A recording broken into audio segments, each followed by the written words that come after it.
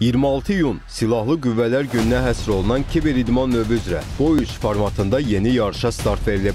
Gaming League Azərbaycan tərəfindən təşkil olunan turnirdə Azərbaycanla yanaşı qardaş Türkiyənin geymerləri də iştirak edirlər. Olimpiya sistemi üzrə keçirilən yarışda bu gün yarım final, sabah isə final görüşləri reallaşacaq.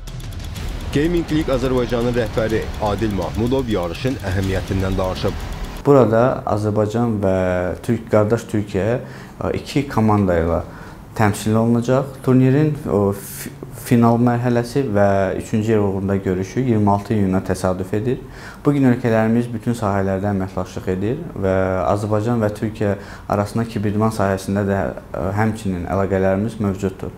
Hesab edirik ki, bu yarış hər iki ölkədə kiberidman kiberidmanın təbliğ e, təbliği baxımından böyük rol oynayacaq.